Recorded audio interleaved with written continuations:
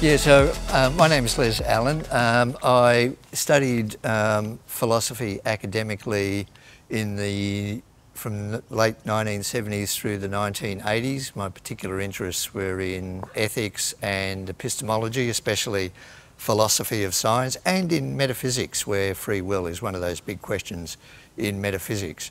Um, currently, I run I set up and run the Rational Realm website where there's a number of my papers and papers from other people. And I also sit on the board of Humanist Australia. And I also started up Australia's first ex-religious support network. Uh, so why am I interested in the free will question? Um, because I think it has deep implications for the way we view other people, our relationships with other people, and also in terms of uh, moral responsibility. So there's a lot of argument about if determinism is true, what does that, that mean for whether it's ever right to blame and praise people? So these are real practical questions and there's practical implications then of course for the legal sphere as well. Do you want to outline some of the definitions that are relevant to this topic? like for instance, let's start with what is free will and what is freedom? Ah, well, that's the $64 million question, um, isn't it? Because the, um, the people who are what are called indeterminists um, think that free will is our capacity to do things differently, um, choose things differently that are not governed by our genetics and our environment and our prior experience. So there's a non-causal or a-causal element to our decisions. So that's one way of looking at free will, and they're the hard, the group called the hard determinists. They agree with the indeterminists. The libertarians, that's the other name for the indeterminists, the libertarians, uh, they both agree together that free will has this central notion that we can act outside of our genetics and our prior conditioning and our environment. There's another contrasting view, definition of free will, uh, put by what are called the compatibilists, and they say that free will is completely compatible with the fact of determinism, if it is a fact, and free will is about to do is to do with agency, our capacity to uh, think through reasons for action, understand the reasons for acting, uh, choosing different things, and to be able to give reasons uh, for why uh, we choose one thing or another. The, the other central aspect is about character, that when we act freely, we're acting in concert with our character, meaning our higher order desires.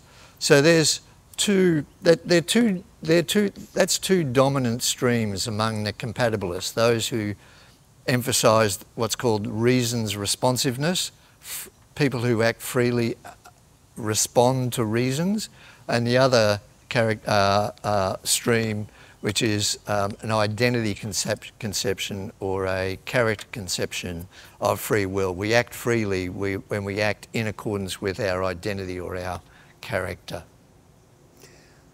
Okay, another definition. What is meant by determinism? What, what is meant by determinism and also randomness right. Uh, randomness is a really difficult one. I think philosophers by and large agree on what determinism means. And what that means is that if you take the laws of physics, maybe as imperfectly as we understand them, and you take what are called the initial conditions or the system conditions, the prior, the state of the universe at a particular point in time. Take both those, laws of physics, current state of the universe, you can logically deduce all the future happenings of the universe. So what does that mean in practice? That if we knew perfectly the laws of physics and if we knew um, the state of the universe from five minutes ago, where I was positioned, the forces acting on me, what's happening in my environment, what's happening in my brain.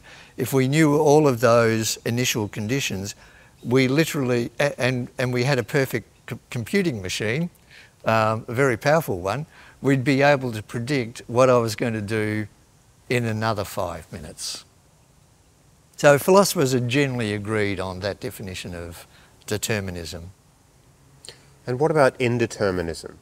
So indeterminism is uh, simply the denial of the determinist thesis. So it's the denial that if we know the laws of physics and if we know uh, the initial conditions, we won't be able to deduce a future state of the universe. That somehow the future state of the universe is still uh, undetermined or underdetermined. So it's the denial of the determinist thesis.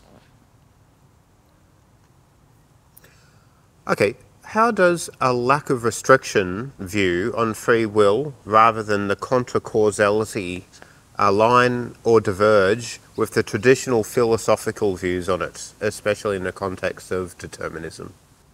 Um, well, I don't know whether there was one traditional view of free will. There's always, I mean, compatibilism really got going, started to be more precisely formulated during the Enlightenment, uh, for example, with um, uh, David Hume. And that was the, uh, the no coercion view. I'm acting freely. If I, if, if I had chosen differently, I would have done differently. Um, that's been very much refined. Uh, but I think even in the Middle Ages, I mean, the Middle Ages, it was a different kind of argument because there the argument was not about um, the laws of the universe and the initial conditions determining all future states. It was about God's omniscience. That was the big debates in the Middle Ages. Um, but even Aristotle, it even goes back to Aristotle with his discussion of voluntary acts. Uh, and that's generally regarded as a compatibilist view. So the view of compatibilism goes all the way back to the ancient Greeks, um, and the, the, the, like the hard deterministic view, we can see that from that point in time all the way through the modern period. So I don't think there's any traditional view. There are traditional views. It's always been a big competition, a big battleground, and still is. In your essay on free will and compatibilism, you discuss the relationship between determinism and free will. Can you further elaborate on your stance on this? Yeah, uh, good question. Um, in my essay, I enunciate what I call the 4C theory of free will. And that is, I enunciate what I think are four conditions that have to be met to say that an agent act, acted freely. And the first one is that the I, I call compulsion, that's the first C, that the person doesn't feel, psychologically feel compelled. The second one is about control, that the agent is not controlled by a third party, like they've got um, a brain implant or they've been brainwashed. The third condition I call character, and that is that the action, the free action, is in concert with uh, with their character. It's not out of character. And the last one is I call cognition, and that is that the uh, person is cognitively competent. So those last two go to what I was describing before. So this last one about cognitive competency, that ties into what I was talking about reasons responsiveness. Uh, we say a person is cognitively competent when in, at the least they can understand reasons and give reasons for action and being able to think about the different choices they have. That third one that I said, character, um, I mentioned before about the identity or character view of free will by compatibilists. That an act is free if it's in concert with a person's character or identity, meaning that it's in concert with their higher level desires, is one way to look at it. So that's my 4C theory uh, of, of free action, the four conditions that need to be met. Excellent. Given Darwin's theory of evolution, do you think there was a point um, at which free will became real that wasn't where it wasn't there beforehand?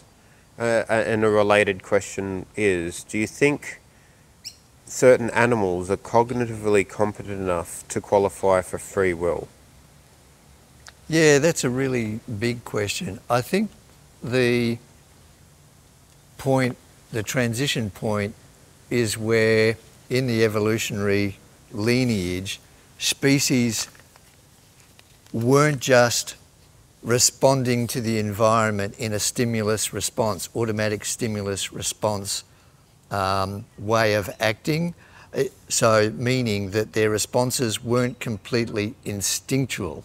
So, what does that mean? It means that free will became a capacity of creatures when they were able to a model the environment consider different possibilities for action reason about the different possibilities and put some cognitive processing towards which is the best um, action for them out of the possibilities to actually um, do.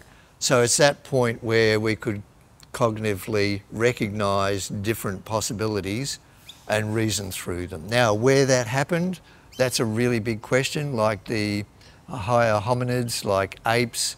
Um, yeah, look, I haven't got a settled view on, say, apes, chimpanzees. Um, I haven't got a settled view on that because they do, even my dog goes through some cognitive processing. You know, when he's, they've got to choose between, am I going to choose between the breakfast that's just been put out, um, or am I going to choose, Les is calling us to go for a walk? And you can see them, the cogs turning in their brain. So even dogs have some cognitive level of processing where they're evaluating the different futures that they could bring about, the different choices that are open to them. That's a really difficult question if all the functional requirements for free will, based on the four C's that you just elaborated on, were ticked off in an artificial intelligence, would you say then the artificial intelligence would have free will, or is there some another layer to it? Yeah, so um, so for the 4C theory to apply to an artificial intelligence, that first requirement uh, is probably the most apt one the artificial intelligence has to um, have a subjective life, know what it's like to feel, um, and when they act freely, the condition is that they don't feel compelled by the circumstances. They don't feel like they're coerced, is one example. So they've got to have a subjective being about them. Now, when that happens, when is that going to happen?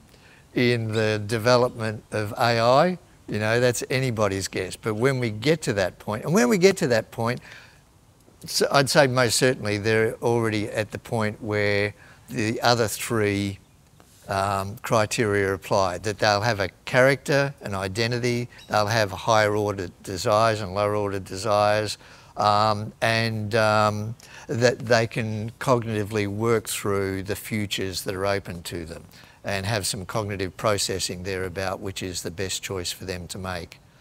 But the really critical one to get to that point is the artificial intelligence has to know what it's like to be me, what it feels like to be me in that phenomenal sense. And as I said, when that happens is anybody guess, anybody's guess.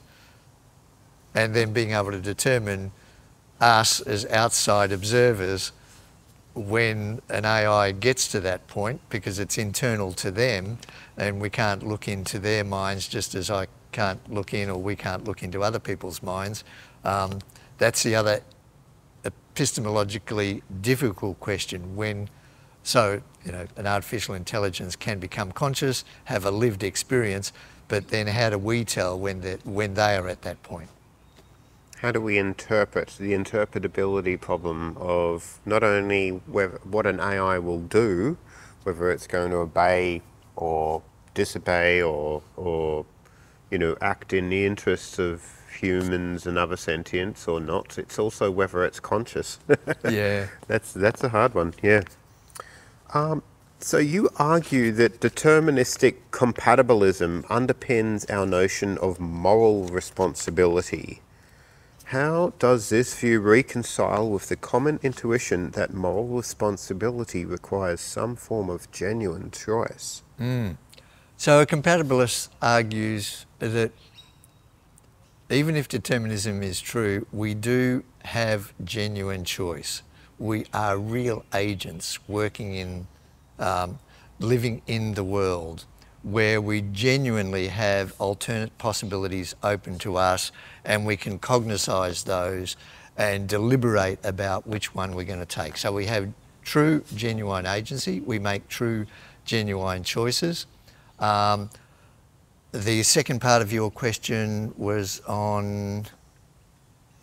Well, how do how do our view how does this view reconcile with the intuitions around moral responsibility? So, if we're a compatibilist, we have genuine agency, we make genuine choices. So, in moral philosophy, it's still generally agreed that for someone to be morally responsible, they could have done otherwise. And there's a lot of argument about how do we interpret could have done otherwise. So for a compatibilist like me, I think there is a very real sense of, even though determinism is true, we could have done otherwise. Now, if that's the case, if we're right about that, um, then that leaves it completely consistent with our moral intuitions that to be morally responsible, we need to have been able to have done otherwise. And we think that's condition is satisfied, that we really could have done otherwise. And that goes to some technical argumentation about, well, what are the different senses of could have done otherwise, and in what sense is it used when we talk about John when he robbed the bank that he could have done otherwise. And as compatibilists, we think there is a very real and genuine sense that John could have not robbed the bank, even though he did do that.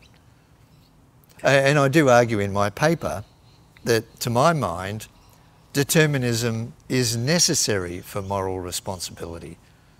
Not only that there seems to be a disconnect between moral responsibility and determinism, I think the two go hand in hand. You can't have moral responsibility if there are these indeterminist forces working in our brains that whether I choose to rob the, the bank or not is literally down to chance. It's not up to me. How can we be morally responsible on this indeterminate system where things just happen and they're not linked to our character and our genes? That just doesn't make sense to me. Well, this feeds into the legal questions, doesn't it? So you touch on um, the implications in your theory of the legal contexts. Could you further elaborate on your compatibilist perspective on free will and how that could inform legal practices, especially in areas like criminal uh, responsibility and crime mitigation.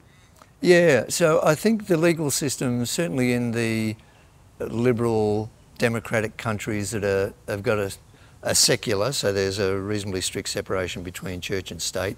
In those legal systems, I'm talking about UK, United States, Australia, um, some of the, the countries in Europe, France, Germany, um, closer to us, New Zealand. All of these legal systems are what I regard as, regard as compatibilist.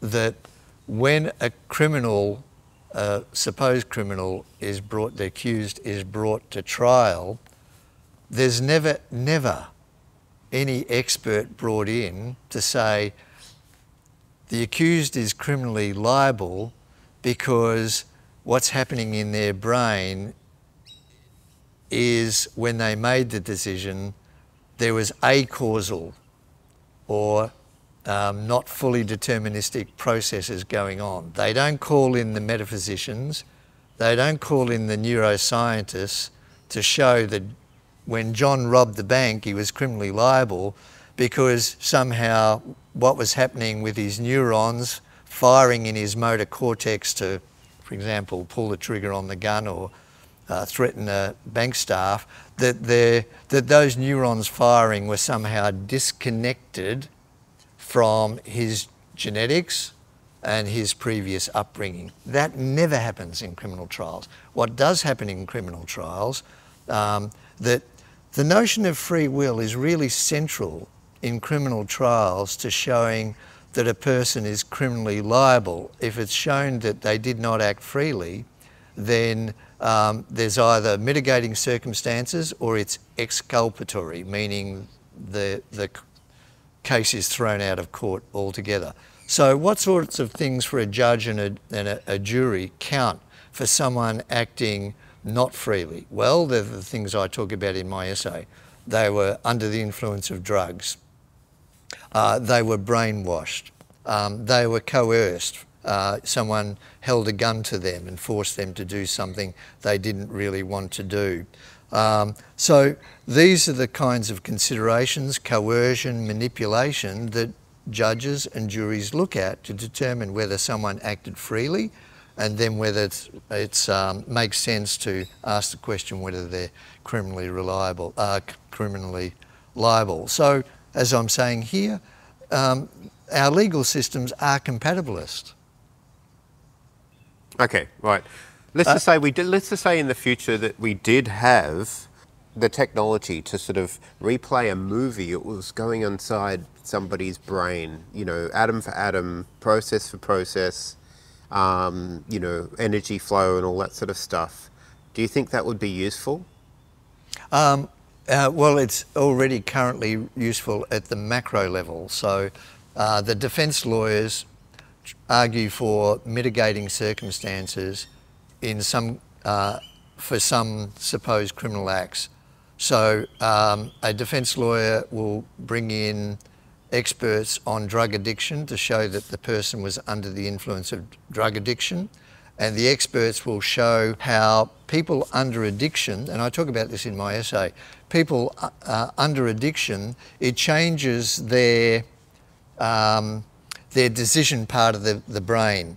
So that part of the brain where they think through and reason about alternative courses of action is literally short-circuited when somebody is under the influence of drugs. The other case is with uh, certain mental illnesses, um, like for example, um, brain tumours. Well, this is not a this is a, um, a biological malfunction, which is a different kind, but people who have a, um, a tumour in their brain can affect their personality and they can become violent. So in some cases, um, a defence lawyer is called in to show that a person had a brain tumour that was once again impacting their decision parts of their brain and short-circuiting it. So we already do that in criminal trials. Now that could, well, we're thinking that will become further refined as the technological tools get further developed and we can show much more precisely at the neuronal level or the modular level in the brain how this short-circuiting works. We already have a, a reasonable, reasonably good idea, but um, more information there will tidy up some of the more difficult legal cases.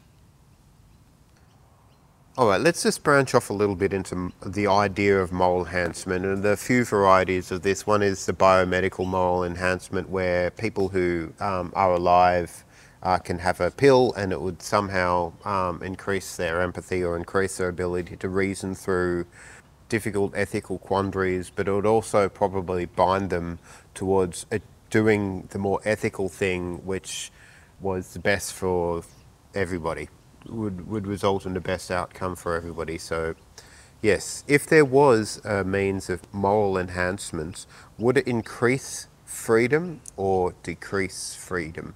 Or increase free will or decrease free will?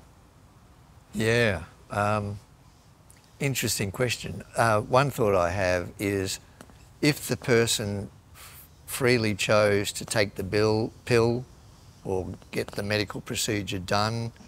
So they were fully cognizant of what they were doing, wanting to be a moral person, doing the things necessary to get to that point. It's like giving up smoking. You know, you make a conscious decision to go to behavioural therapy to give up smoking, knowing that it's going to change your character. Um, if that's the case, in those cases, it doesn't rob the person of their free will. Um, if, if we do, for example, genetic manipulation before a child is born, I'm thinking that it does rob them, the baby, the later adult, of their free will because then it comes under my criterion of control, being controlled by a third party. And this seems to be a clear-cut case where to make the person moral, you are this other third party, the doctor, the lawmakers, um, are intervening um, to change that person's, that baby's makeup. So I'm thinking if the person doesn't make a conscious decision to have that done to them, then it's really robbing them uh, to some extent or a large extent of their free will. A lot of it might come down to genetic lottery as well, um, whether their, their, capacity to reason through different choices or their, their boundedness to doing things in the interests of the many, right? So, in a sense, if if we were to stumble upon an alien civilization that was very extremely moral and never, never really did anything that was out of the interests of the population, even though their heritage millions of years ago were individual agents operating from selfish means, selfish motives, do you think they would have more freedom or less freedom? So how did they get from their prior state generations ago of acting selfishly, how do they get from there to them always acting morally? What happened in the intervening period? How do they get there? Well, I mean, I don't know. Okay, so let's just assume. Oh, this okay. is an important part. Yeah. Let's just say that um, they got there through genetic manipulation and cybernet. They they they uh, merged with machines. So cybernetics merging with machines and genetic engineering. Yeah, so once again, if it's done by third parties, not the agent themselves, um, then I'd say to that extent it's robbing them of their free will. Now, it might not rob them of all of their free will because this genetic manipulation might not influence whether they're going to choose coffee or tea in the morning, for example, or whether they're going to have children or not have children if that's not a moral choice. So some, some or a lot of aspects of their lives can still uh, operate under free will, but those parts that are the designed outcome of a genetic manipulation, then those aspects of their choices, they've been robbed of their free will. Yeah, it's interesting. Like it, it, um, extending an, an agent's capability of reason so that they can reason through very difficult trolley problems or you know whole tree structures of possibility, but also making, uh, I guess, reducing their will to act selfishly and their will to um, act in the interests of the many. That could be a form, both you know, increasing uh, free will, but also reducing free will, maybe. But then again, the civilization that was produced may have more freedoms in many different ways because of the less waste heat that is caused by individual actors fighting against each other to, to achieve their own selfish interests could outweigh the, the freedom gained from individual actors just working in self-interest. But have, you got any comments about that? Yeah, you, you make a really important point there, Adam. So, for example, if in the previous generations there was a lot of murder and stealing, and murder and stealing robs the victims of their free will, and then if you engineer the society, or the doctors, or the lawyers, and the parliamentarians engineer society so that people are less wanting to murder and steal, then you're bringing about a new society, a new set of circumstances that enhances people's freedom because now they're not worried about being murdered or worried about having their stuff stolen and not having to worry about that and not having that done to them means that they've got a broader range of choices that they can do. So yeah, you make a really good point. So in some ways, um, freedom of choice has been taken away, uh, but in other ways, it's been enhanced. So So the two don't, well, obviously the two merge together because it's the same agents and the same society, but they're two different variables we're looking at. The increase and the decrease in free will because you've got a greater range of options because you're not worried about being murdered and having stuff stolen. That's one variable. The other variable is that you, your actions are now constrained because of your designed genetics. Interesting. can, oh, can I say something about reason? Because you said, um, uh, what if uh, it's, we're able to engineer a greater capacity to reason? And I'm thinking that will enhance people's capacity for free will because one of my criteria is cognitive competency, the ability to understand the various choices and reason through the reasons for and against doing the particular choices. So anything that enhances that cognitive processing, the capacity for cognitively processing the different options available, uh, is literally enhancing our capacity for free will. Do you think then, I mean, this sounds very similar to the way laws work. I mean, they reduce people's freedom to go out and just kill, murder, rape, and pillage just for their own selfish interests. But at the same time, everybody who's part of the civilization that enacts these laws is less prone. They, they don't need to worry about protecting themselves or spending so much of their resources protecting themselves um, from this sort of thing happening. And, and, and then, therefore, they're afforded the freedom to be, be able to, with the resources that they have, focus on arts and, and uh, focus on like doing understanding history or you know pursuing personal interest. So I guess it would be a very similar argument there. Sounds yeah, so, uh, so the Worldwide Happiness Surveys show consistently over the last 20 years that people's life satisfaction and perceived happiness increases when they feel they're in control of their lives, that they can make the important decisions, they can act autonomously to lead the lives they want to live. So in countries that are racked by, um, by civil war and by corruption, these are societies in which people's actions are severely constrained and they're less satisfied with their lives.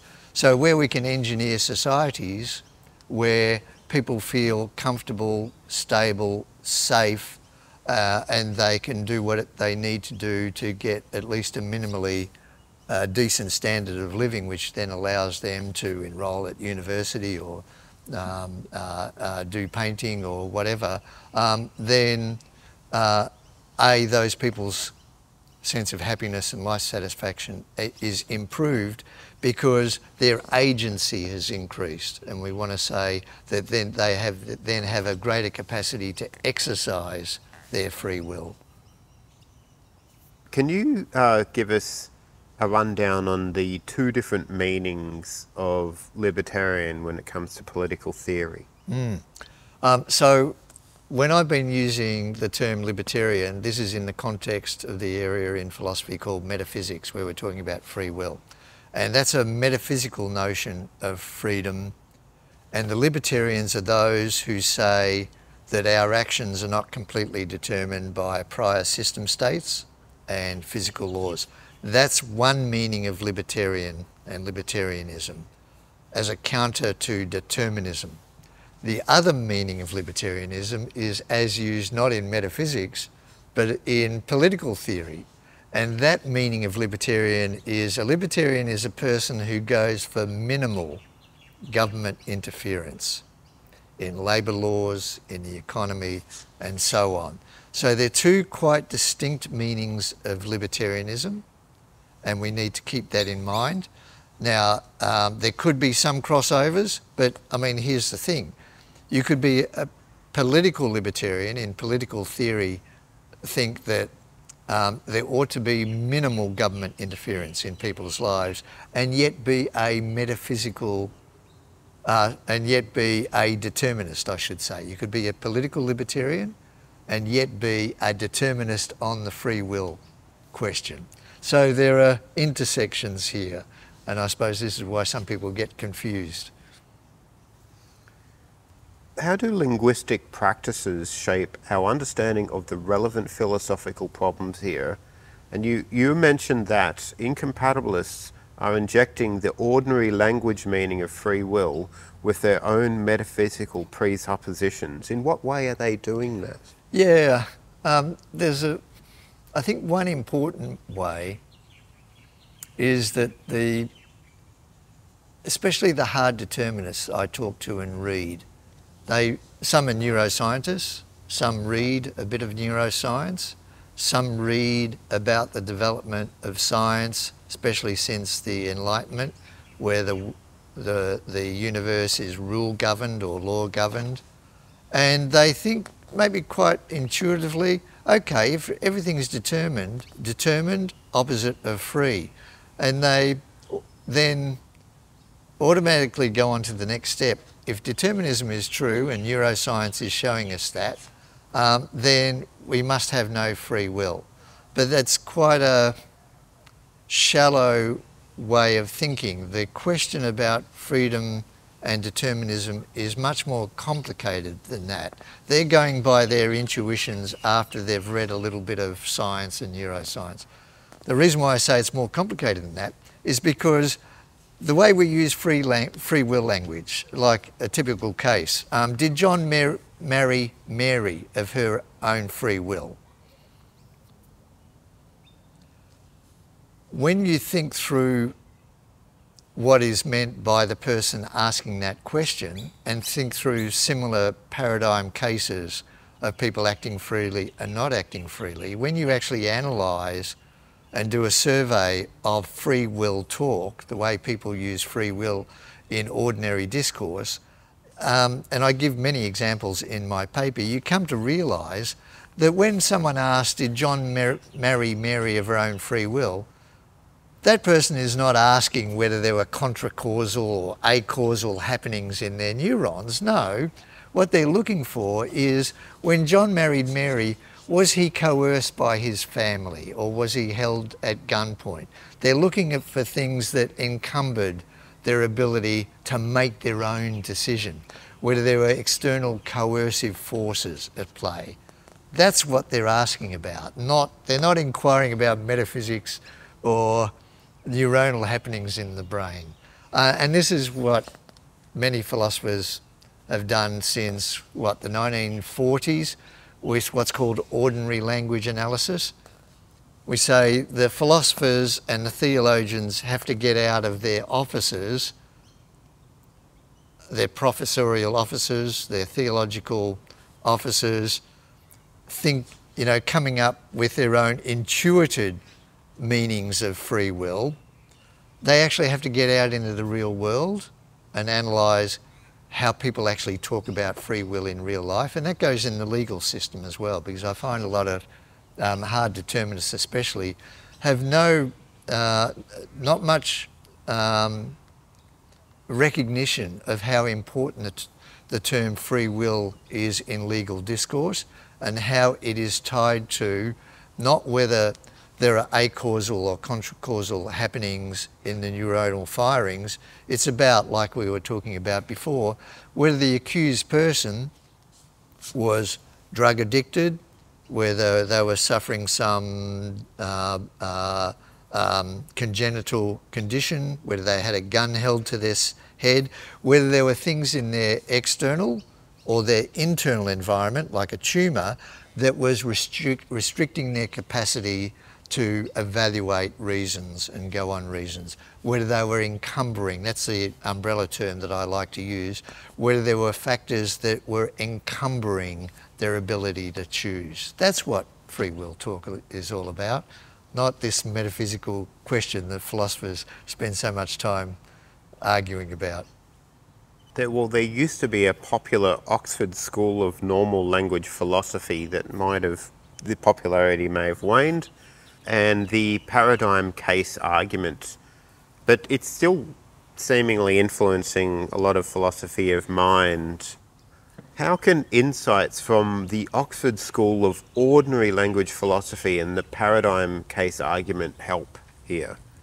Yeah, look, I think it's enormously useful because people like Austin, who were one, probably the main instigator of the ordinary language school of philosophy in the 1940s, um, this has been very critical, I think, in advancing philosophy forward, uh, getting out, getting out of solving technical problems that are of philosophers' own making.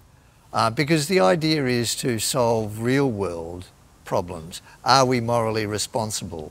Do we have genuine agency?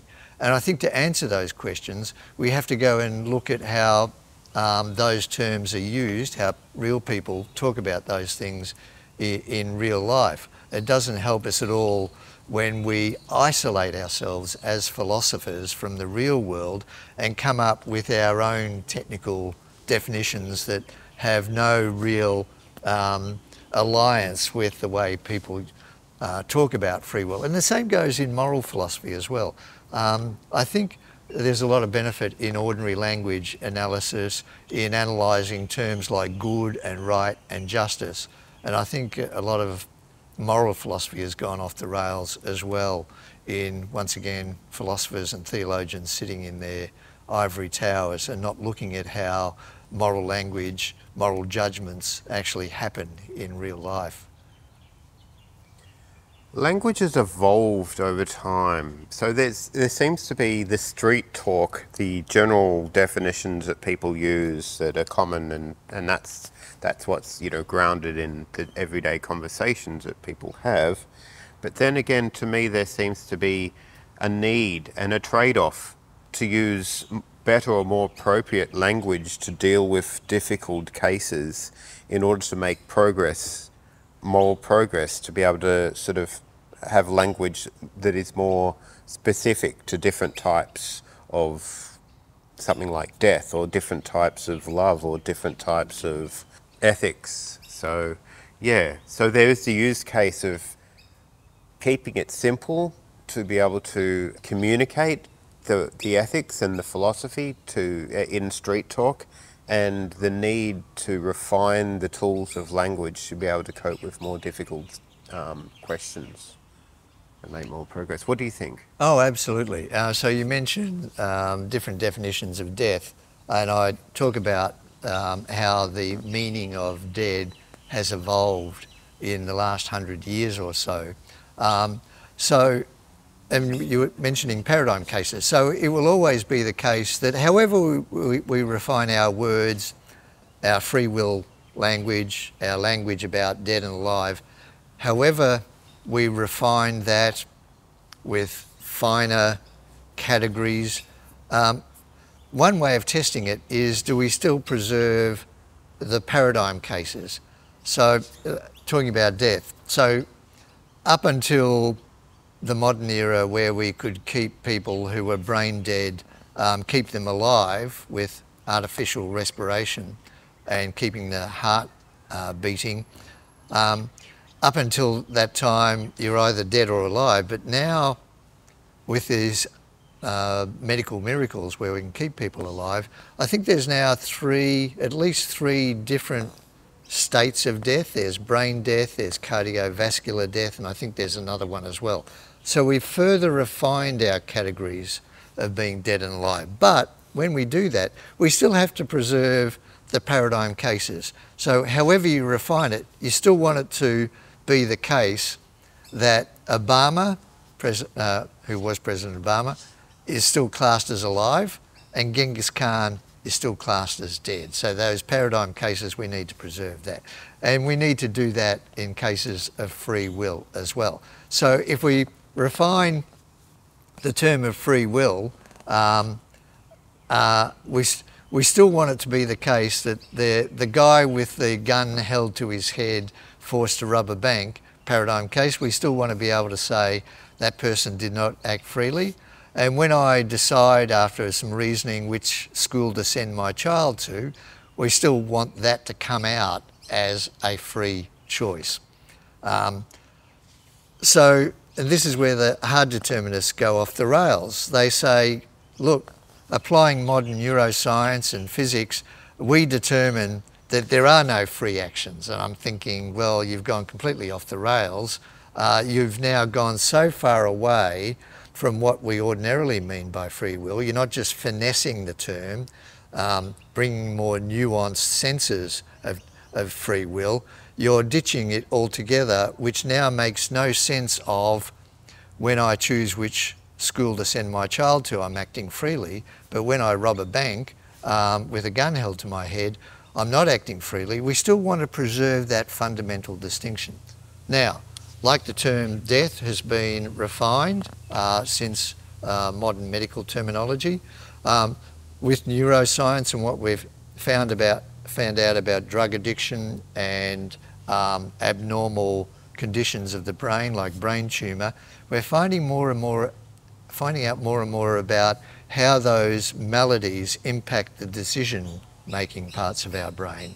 So we can make further refinements about to what extent someone has acted freely. So to give you an example, in the Middle Ages, if you were mentally ill, um, people were still considered morally responsible. Um, and even in some states in America, mental illness might be a slight mitigating circumstance. But what we know now is that mental illness, as I was saying before, short circuits that cognitive parts of our brain where we can recognise different choices and reason through the benefits and disbenefits of taking particular actions. Um, so now, in legal cases, if someone has a brain tumour, we, uh, and it looks like that's altered their personality, which maybe led to them committing violence on their life partner, we now bring in the neuroscientists to say, to show to what extent that brain tumour, using what we know from modern medical science, we can better determine what size tumour is required to more and more shut down those decision-making parts of the brain. So we can have finer gradations now to what extent someone acted freely. Same with schizophrenia, same with drug addiction. What level of drug addiction do we need to get to to say that that person didn't act freely at all or they lost somewhat their capacity to free will? We can now make those finer distinctions into what extent someone acted freely because this is a really important point. It's not the case that someone acts completely freely or someone acts completely unfreely. There's a whole spectrum where a person can be to what extent they acted freely. And now modern neuroscience, what we're learning about drug addiction and mental illness is giving us those finer gradations where we can judge to what extent someone acted freely and not acted freely. Do you think that there's some sort of optimal Goldilocks zone or sort of Nash equilibrium where everybody is sort of compelled to act morally or ethically to achieve the optimum sort of Pareto optimum of like compulsion and freedom. Uh, do you think that there's uh, like a, a, a, point at which there's a perfect balance? Um, well, um, when you said to what extent should someone be compelled to act morally, if they're compelled, they're not making a moral choice. They're being forced to make that choice. Um, so I think that's the important thing there. We can't compel someone to act morally because if we do, we're taking away their agency and they no longer become a moral agent who can make moral choices. Now there's, uh, um, you know, there's an important discussion about moral education because we want to educate our children to be upstanding citizens, to act empathetically. So we guide people's, our young children's moral development. But we want to do that to the extent that we're enhancing their agency and not brainwashing them. So take religious sects that brainwash people to act in particular ways and they think they're saying that those people are acting in accordance with God's wishes, therefore they're acting morally. But if you deprive person, a person of sleep, if you're constantly watching them uh, with watchers 24 hours a day to report when they've done the right thing and done the wrong thing. When you're constraining um, the information that they can get through television papers, uh, television and newspapers and, uh, and, uh, and social media, when you're applying all of these constraints to someone's behaviour to get them to act in accordance with God's wishes, then that's brainwashing. It's taking away their agency. So we want to develop children's moral character where we preserve their agency and not rob them of. So there's an important distinction between brainwashing and proper moral develop, proper moral education of children. Given advances in neuroscience and psychology that challenge traditional notions of free will, how does your compatibilist views accommodate these scientific perspectives, particularly the findings that suggest much of our decision making is unconscious? Okay, so there's two things there. One is um, I want to push back on the notion that modern neuroscience is somehow countering the compatibilist viewpoint because I think people have been assuming compatibilism, ordinary language users have been assuming compatibilism all the way from ancient Greece. I mean, Aristotle argued for a compatibilist view, all the way through the Middle Ages to the modern era. So I don't think there's a traditional view. There's been two dominant views about free will. One is the compatibilist perspective, and the other one is the um, incompatibilist perspective taken by the indeterminists on the one hand and the hard determinists on the other.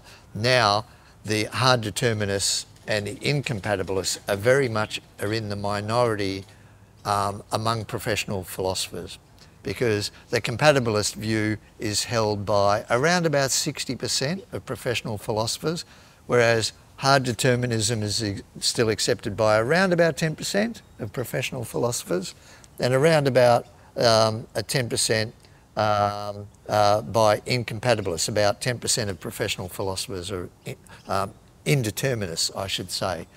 Um, so if you want to talk about a current traditional view, the current traditional, traditional view is compatibilism. So that's the first thing. The second thing is whatever happens in neuroscience and in, cover, uh, in uncovering the genetic determinants, the environmental determinants, the upbringing determinants of our behaviour, however that progresses is not going to impact on compatibilism at all because compatibilism is arguing that determinism is compatible with free will. But you bring up the important point. Um, modern psychology and neuroscience is showing that more and more that many of our behaviours which we think are uh, volitional um, right that we do because of conscious reasoning, there are unconscious processes going on. And behaviour economics um, is doing a lot in looking at that. Um, and um, uh, System 1 and System think, 2 thinking by, I can't remember the philosopher's Kahneman, name. Daniel Kahneman. And Daniel Kahneman is doing a lot of work in that area where much of our decision making is by the System 1 area of the brain, quick, quick response because quick response is needed and is instinctual.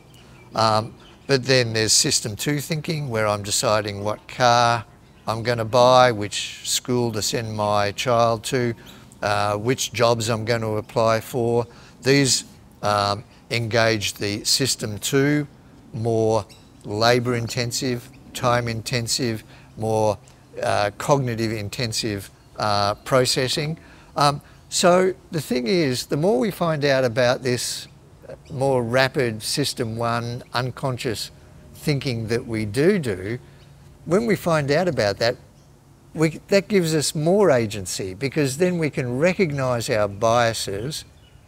Ah, okay, when I decided X, I wasn't, there were unconscious biases there that were brought about by, you know, I might like blondes more than brunettes, and that's why I was more prone to employ a blonde rather than a brunette. Once I become cognizant of those unconscious biases, I can then put in strategies to work around them so that I'm putting in more reasoning into my decisions and not relying on these instinctive responses. So the more we're finding out about these unconscious biasing processes, it actually gives us more agency and not less. It's actually allowing us to think, um, act, uh, um, use free will more rather than less. So, in, in your talk on can we really be free willing robots, in your analysis, you trace the etymology of the term free will to the 16th century and define it as an absence of constraint. How does this historical context influence contemporary philosophical debates about free will, particularly in relation to determinism and libertarianism?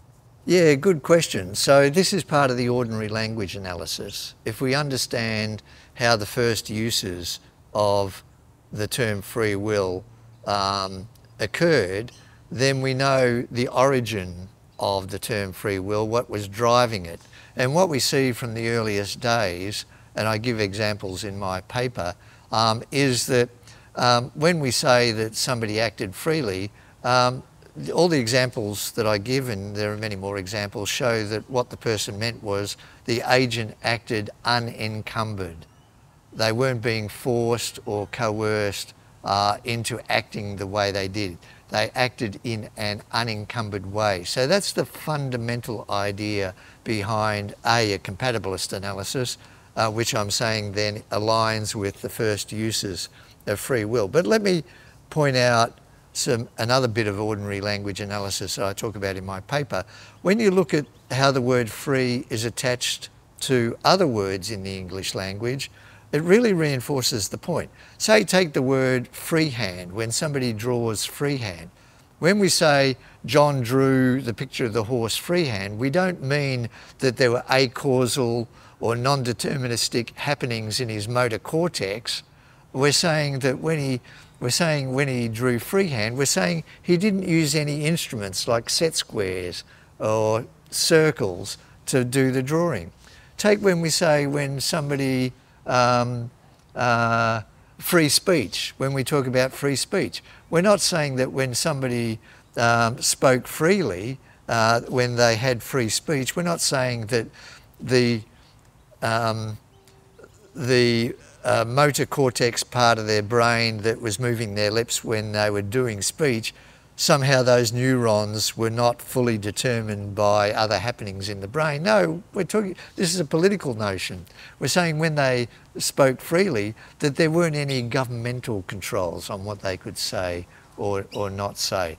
Um, free range, free range chickens. Again, we're saying when the free, a, a free range chicken, we're not saying that when the chicken is running around somehow they're running um, and once again their motor cortex, the happenings in their little chicken brain, there were indeterministic forces happening in their brain. No, we're saying free range means that there isn't a constrained fence constraining them to a small area. So here are other ways, other uses in the English language where we attach the word free that doesn't mean contracausal or indeterministic. It's the same with when we use the term free will. You, um, so you're involved in a lot of the free thought and humanistic circles and some of the atheist events in Melbourne. How do you reconcile the concept of free will with atheistic or materialistic worldviews? Yeah, this is where I love talking to probably mostly skeptics and atheists who I'm thinking are not are not card carrying humanists because let me say um, within the humanist tradition, humanism um, has a lot to say about agency and people being free to live the best lives as they see fit. So a humanist perspective is wanting to give people agency and allowing people to act freely.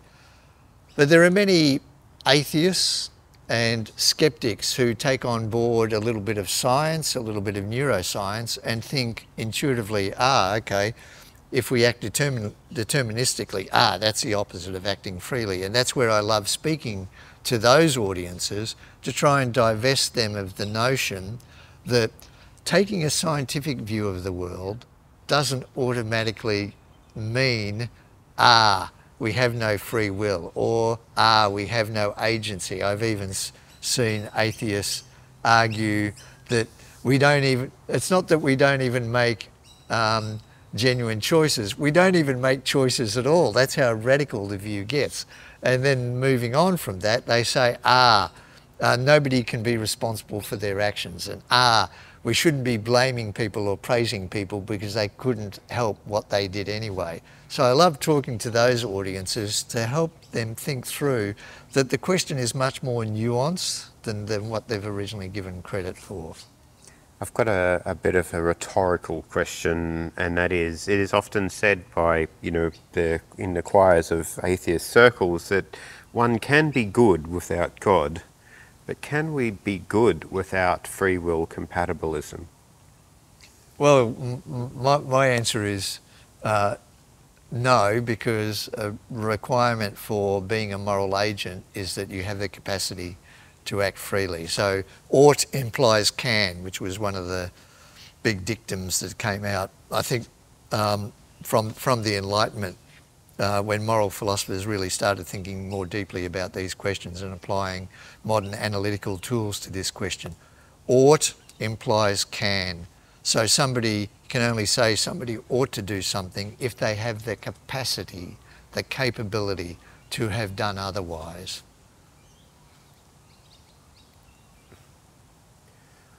Are there ethical dilemmas that are particularly challenging when viewed through the lens of compatibilism rather than just hard determinism or uh, libertarianism? Oh, good question. I, none none come to mind. If you have one in mind, Adam, then I don't. No. uh, well, I'm just trying to think. Is are there ethical dilemmas particularly challenging? Uh, well, I mean, let's just take a, a, classical trolley problem. If the trolley, if if if it's just a computer that's going to decide how to save the most lives, um, to sort of optimize you know, really difficult tro tro trolley problem, then wouldn't a deterministic computer that could sort of uh, optimize the amount of lives saved, the amount of utility saved, be more moral than somebody who is perhaps encumbered by free will and having to weigh things up a bit? Uh, but I think the assumption there that the moral computing machine is a traditional or a classical utilitarian. And that's not the case. That's a highly contentious issue. I mean, we're still arguing about the is. trolley problem, and there are different variants on the trolley problem. It's interesting, the different variants on the trolley problem. One important variant is where to save the people on the track, the five people on the track that the trolley is going to run over, you have to push a fat man off the bridge. The interesting thing is when people, most people who answer that question say, no, it's not right to push the fat man off the bridge, but it is right to pull a lever to divert the trolley.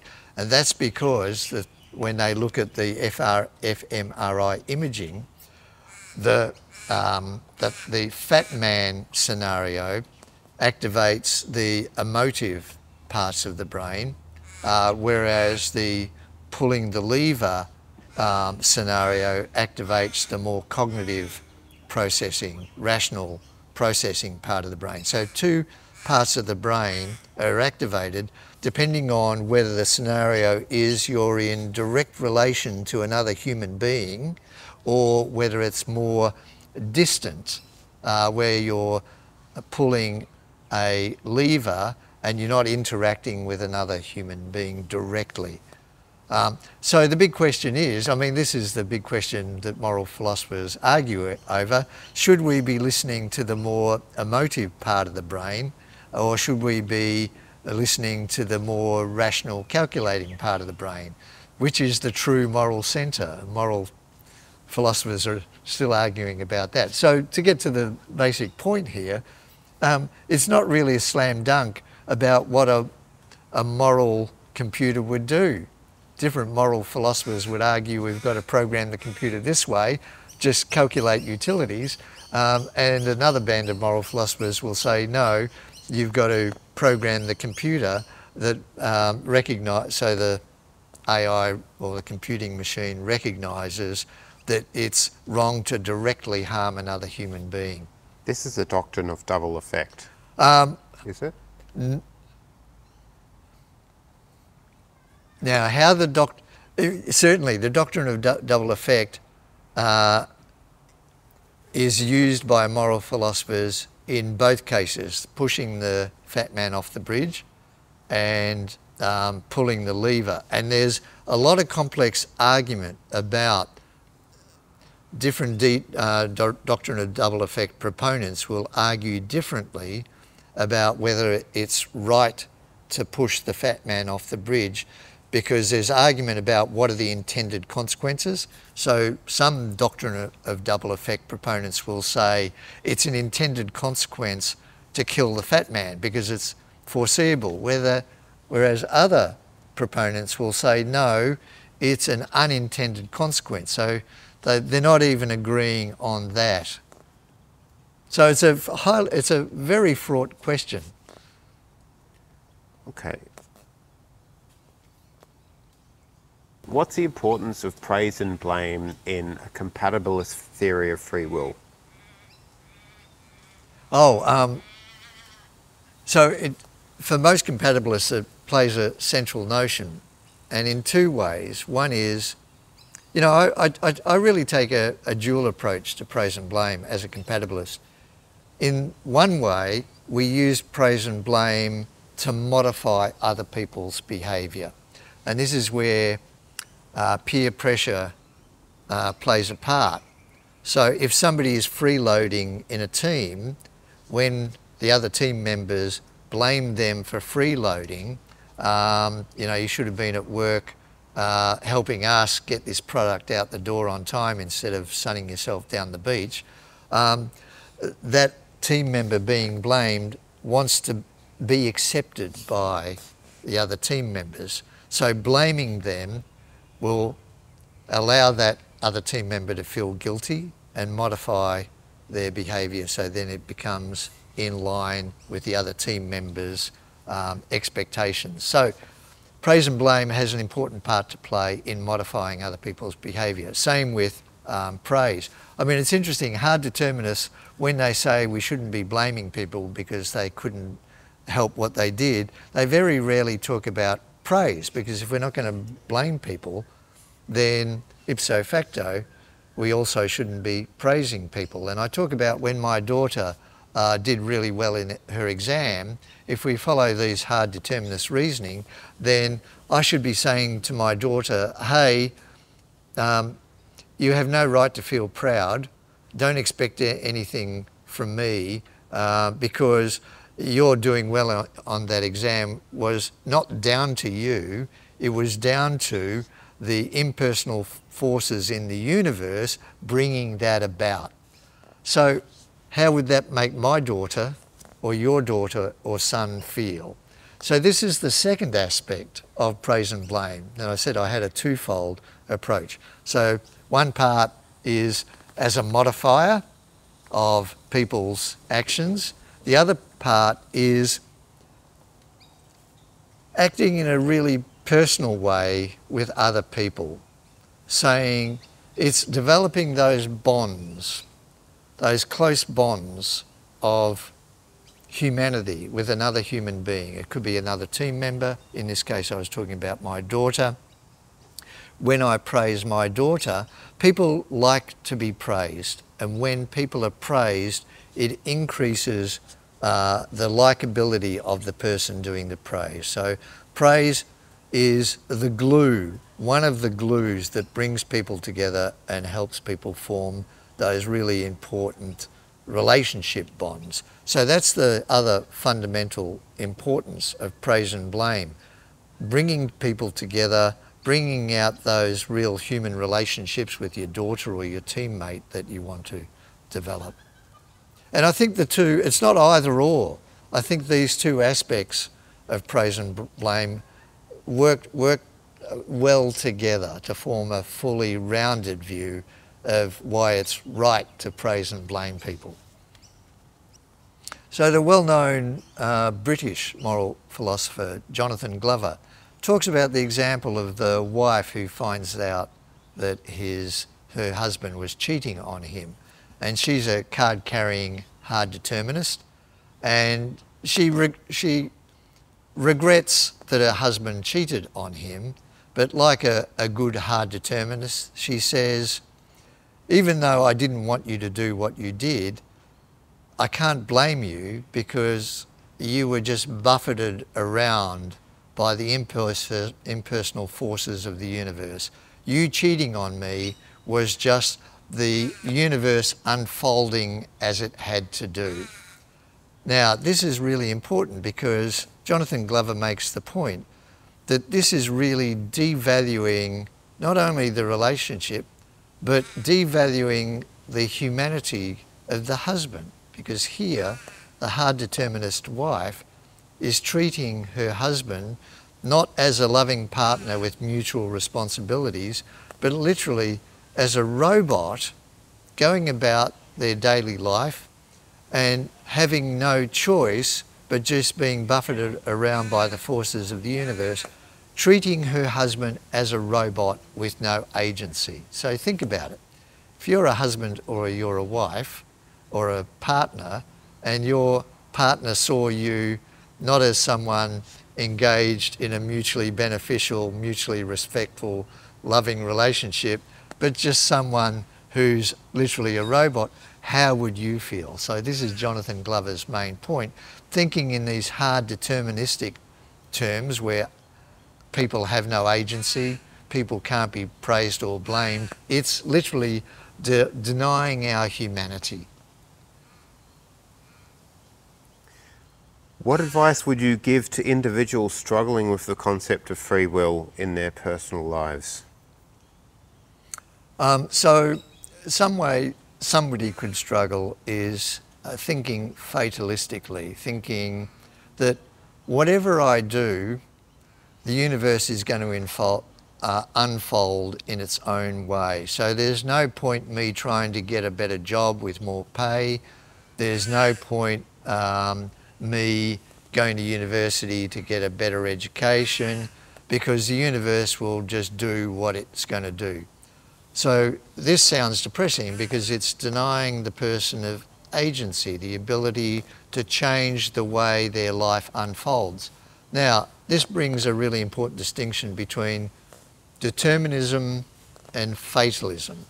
So you can be a determinist and not a fatalist. So I'm suggesting this person is thinking in a fatalistic way that doesn't matter what I do, my life is going to turn out the way it's going to turn out. No, even if determinism is true, you are an agent of your own choices. You are that part of the universe bounded by your body and brain that has, is having an impact on the world. So when you apply for a better job, you doing that, this bundle, you know, you can call yourself a wet robot, this bundle of neurons is having an impact on the world, on your future life, depending on what this bundle of neurons is actually going to do. So even though you're a deterministic being, the choices that this bundle of neurons make does make a real difference to way, the way the, li- the life of this bundle of neurons is going to experience into the future. So you've been, you've read Sam Harris's book Free Will.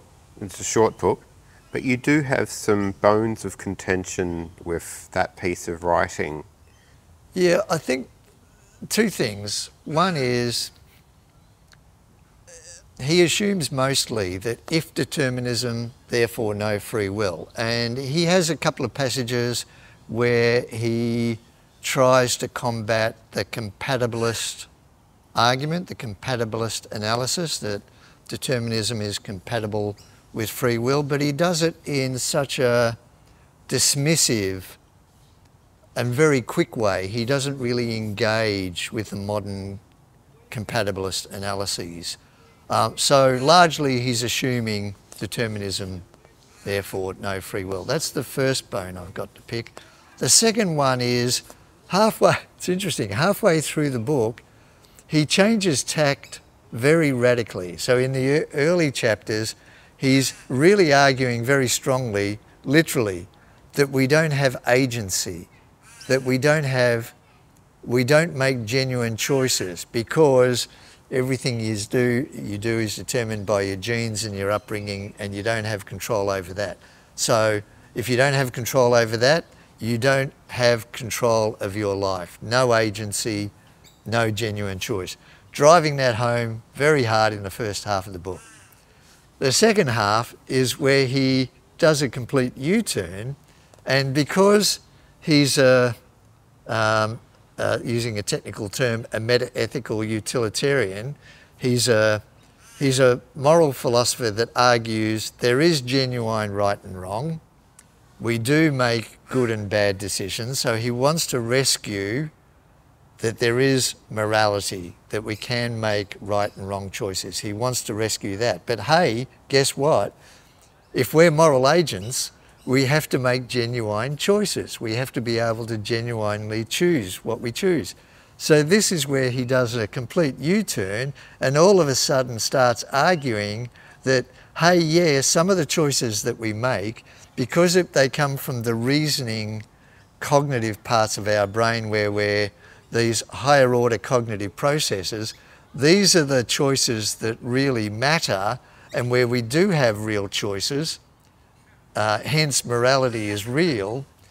But this is where the real um, split in Sam Harris's brain and reasoning is, because he's done a complete U-turn, whereas before he says, we don't make real choices, we have no agency, we have no control, but to rescue the notion of morality, he then has to argue, well, there are some things we do, some choices we do make that are real choices, and they do, uh, and we need that because we, morality is real. Right, given the fact that you haven't actually read Sapolsky's book, but you've read a few reviews and um, you've read something on his views on quantum indeterminacy, what's your hatchet job on his view on free will and compatibilism and indeterminacy and determinacy? Um, so with Robert Sapolsky's book, Determinism, it's a much more substantial book and I think much it will be much better argued than Sam Harris's 45 pages of text. Um, Sapolsky's book goes to 500 pages, so there's a lot of meat in there. And I think Sapolsky knows a lot more about biology and neuroscience than Sam Harris. But uh, my impressions of the book so far are that early on in the book, he's making the same mistake as, um, as Sam Harris. He's saying early on in the book that there's all these compatibilists and I'm going to deal with them, but he doesn't give them their dues early on in the book. The way he, early on in the book, he's assuming that if all of our actions are determined, then hey, you know, it's obvious there is no free will. So he's already flippantly disregarding compatibilism. And I'd say he's priming people, he's priming readers early on in his book. He's making it seem natural that if determinism is true, then of course we can't have free will. He's, so he's priming readers um, early on. Um, so I'm waiting to see how he um, deals with the compatibilists, and I haven't got to that, to that yet, so I, I can't argue about that. I have had, read reviews where he doesn't deal with the compatibilists, um, give, he doesn't really engage with the compatibilists, so I'll, I'll have to wait and see whether he does or whether he's as equally dismissive. I'm, I'm thinking he won't be as equally dismissive as Harris is in his very short text. Okay, yeah. Do you want to discuss the relationship between moral responsibility and determinism?